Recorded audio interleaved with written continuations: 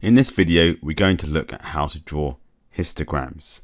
So here we've got an example. So we've got group data, the frequency, and the question is asking to draw a histogram for the information in the table.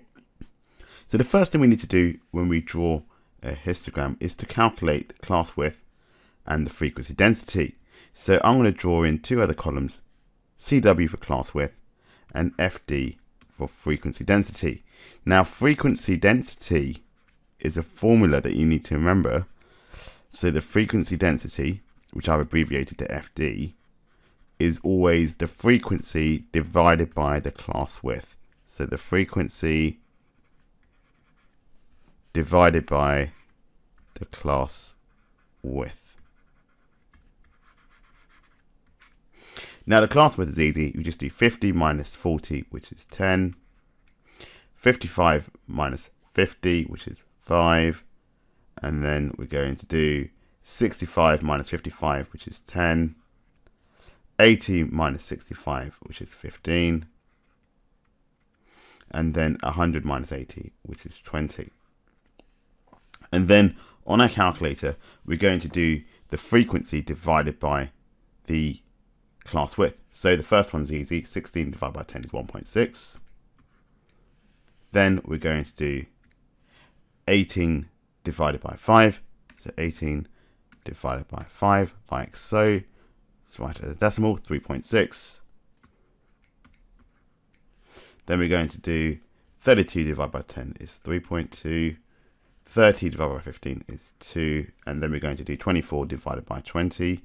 So 24 over 20, we're going to write it as a decimal, so which is 1.2. So now we've got our frequency densities.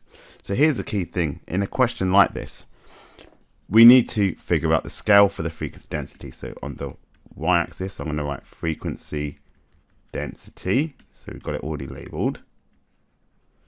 Now, if we look at the values for the frequency density, the lowest value we got is 1.2 and the highest value we've got is 3.6. So what I'm going to do is I'm going to treat 10 squares as 1. So we get 1, 2, 3, and then we've got 4.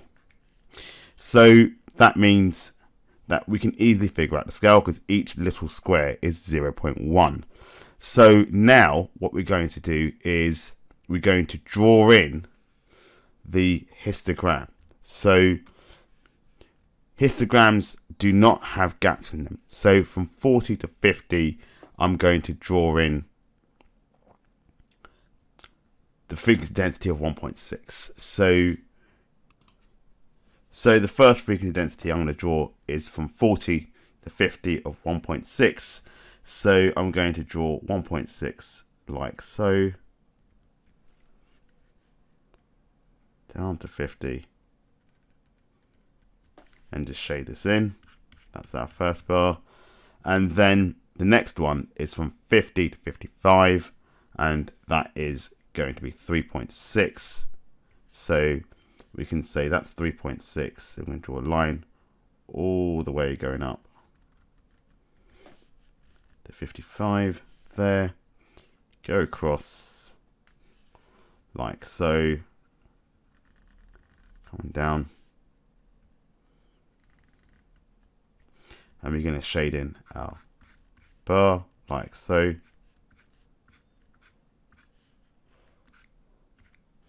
Then from 55 to 65, we're going to draw 3.2, the frequency density of 3.2, so it's marked 3.2 here. Now 65 is also here. So let's draw a bar going across 3.2, come down 65, and we just shade in our diagram there. Then 65 to 80, got 2. So 65 to 80, I've got 2 here. I'm just marking it out on my diagram. And we're just going to draw our bar in, like so.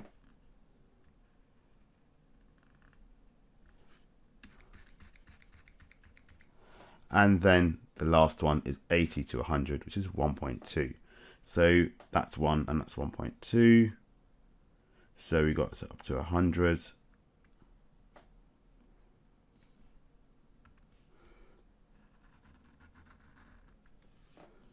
Coming down. We can just shade in that diagram of that. And that is our histogram. Please remember to always label your frequency density. Here's a question for you to try. You can pause the video and when you're done, I will go through my work solution. Okay, welcome back. So for this question here, very similar to the last question, we write down the class width, which is 5 take away 0, which is 5. We get 10, 15, 10, and then 5. So now don't forget the frequency density. Don't forget the formula for the frequency density. I'm going to write it here. The frequency density is always the frequency divided by the class width. So the frequency divided by the class width.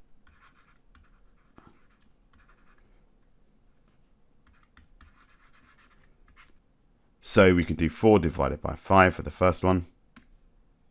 0 0.8. 1. Then 24 divided by 15. 1.6,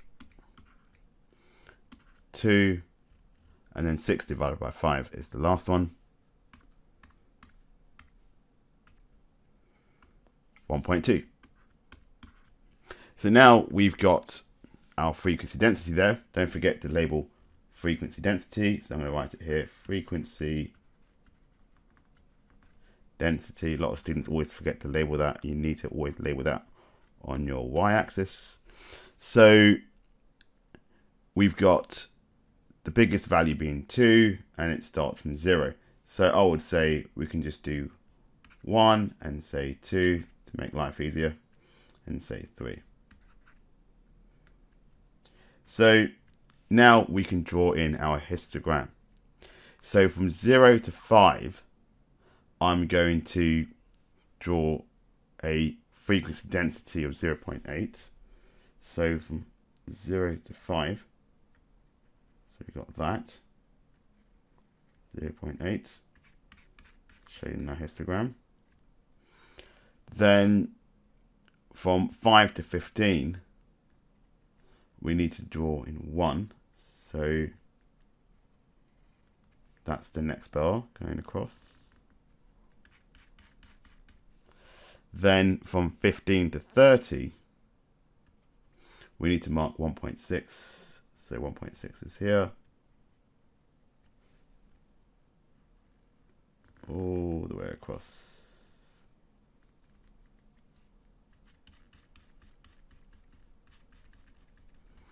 Is that. And then 30 to 40, we've got 2.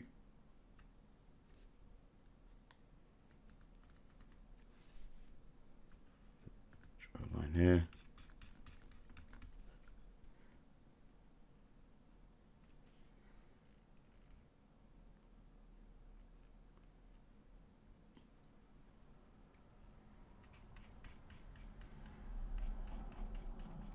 And there we have it. That's our histogram.